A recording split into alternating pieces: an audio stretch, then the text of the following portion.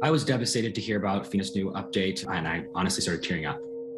It is a major victory. This was a, a level of excitement that I haven't seen in a long time.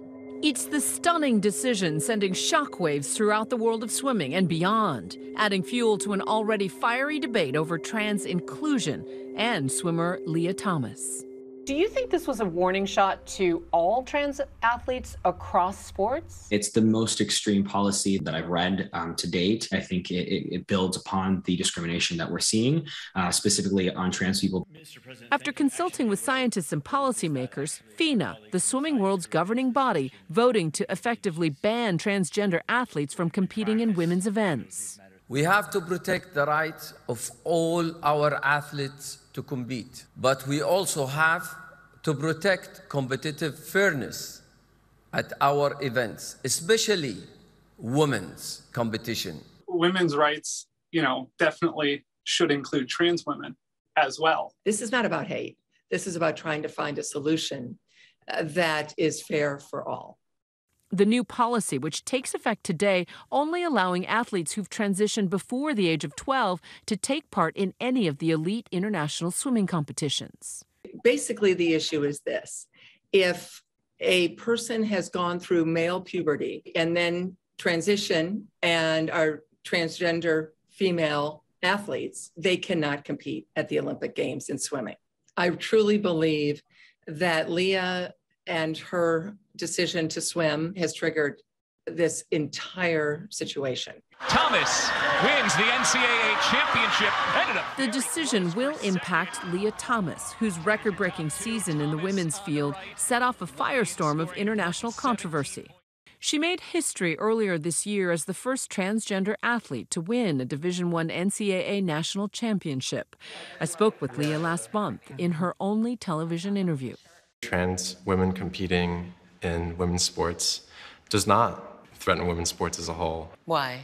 Because trans women are a very small minority of all athletes, and we haven't seen any massive uh, wave of trans women dominating. Lia has excelled in her sport, setting Ivy League records and swimming the season's best times in the 200 and 500 yard freestyles, and rising significantly in the women's rankings versus her performance in the men's field. Are there Olympics in your future? I intend to keep swimming. It's been uh, a goal of mine to, to swim at Olympic trials for, for a very long time. I would love to see that through. But Sunday's policy change has now dashed those dreams. Lia responding to the decision, telling ABC News in a statement the new FINA release is deeply upsetting. It is discriminatory and will only serve to harm all women. Natalie Fahey was one of the first openly trans women to compete in the NCAA, but her races were far less controversial than Lia's. After I transitioned, I was solidly a middle ground swimmer. I didn't you know, come in and, and break any records. I only competed at uh, conference, but certainly just the fact that I'm not as good as Lia is weighs into that. Natalie says being able to swim as a woman played a crucial role. I've had a history of thoughts of self harm. Thank, thankfully, I'm, I'm past that. Swimming saved my life. Having a ruling like this at, at at the highest level of swimming is definitely going to have ripple effects on the lower levels. I definitely think there will be serious mental health repercussions for trans uh, teens and, and younger people all throughout the country and the world. Included in FINA's new gender inclusion policy, the creation of an open competition category where athletes would be able to compete without regard to their sex, their legal gender, or their gender identity. In addition to not allowing the full athletic experience, that's incredibly othering to, to trans people who already face immense discrimination in, in other parts of our lives to then again have this discrimination in sports and be like, oh, okay, you can swim, but only over there, like in that lane. There are some who look at the data and suggest that you're enjoying a competitive advantage. There's a lot of factors that go into a race and how how well you do. And the biggest change for me is that I'm happy again. And sophomore year, um, where I had my best times competing with the men, I was miserable. Critics would say, oh, you transitioned in order to be successful. Trans people don't transition for athletics. We transition to be happy and authentic and our true selves. Trans women are women, but there are a few places where biology really matters, and women's sports is one of them.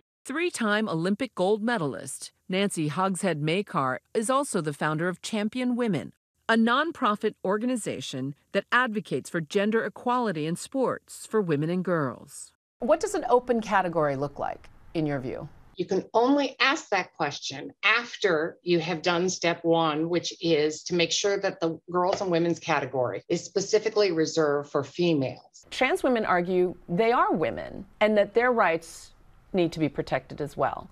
I think in real life, absolutely 100% equality, 100% inclusion in every way. But sports is divided by categories, and the biggest category is the sex category.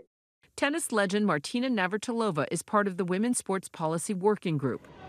The organization aims to influence rules on women's sports, specifically how or if to include trans women. What opportunities do you think Lia Thomas's victories take away from cisgender women? The ones that would have been on the podium if Lia was not racing, the ones that would have gone to the national championships if Lia was not on the team. You don't have to dominate, you have to win to take away spots, to take away uh, scholarships, etc. Dr. Michael Joyner has been looking at fairness in sports by studying the differences between the sexes. We spoke to him last month. Dr. Joyner says the legacy effect of testosterone, which is higher in males than females, can be lasting. What are the physical aspects that trans women may not be able to roll back with hormone therapy? I, I, obviously, issues related to body size, airway size, hand size, foot size, perhaps bone density, and so forth. But but I think the main thing is the just the interactions of exercise training and skeletal muscle. Are you saying that years of hormone therapy cannot put trans women in place to compete with cisgender women? I think that evidence so far would suggest that a period of a year, two years, three years, four years is probably insufficient. We also talked with Joanna Harper in May, who'd advised some of the world's leading sports bodies on policies for trans athletes, including the International Olympic Committee. I think the integration of trans women into elite sports um, is justified with certain restrictions. I've heard some people trying to look for a middle ground. Say we create a third category. Trans people are 1% of the population. And so you can't have a trans category and have any meaningful competition for the people in the trans category if they only get to compete against trans people. Oh. Tell me to give you a big hug from her. Oh, okay. Lia's friend and former swimmer Schuyler Bailar was the first openly transgender swimmer in NCAA Division One competition and the first trans man to compete in any NCAA Division One sport. This police is all women because you have to know which girls are trans in order to exclude them. And when you do that, you enforce the policing of all women's bodies. Schuyler argues that the policy will have a lasting, devastating impact on trans youth that reaches far beyond sports. Most people play sports for fun, to learn cooperation, to have a team, to have peer mentorship. I think that people totally miss that. Only 2% of high school athletes will go to compete in the NCAA, and only about 2 or 1% of those will compete in the Olympics. Transgender athletes like Lia insist that being true to themselves should not come at a cost. Do you think it should come down to a choice between your sport or your gender identity? No, I, I don't want other trans people to have to, to face that, that choice. Hi, everyone. George Stephanopoulos here. Thanks for checking out the ABC News YouTube channel. If you'd like to get more videos, show highlights, and watch live event coverage, click on the right over here to subscribe to our channel. And don't forget to download the ABC News app for breaking news alerts. Thanks for watching.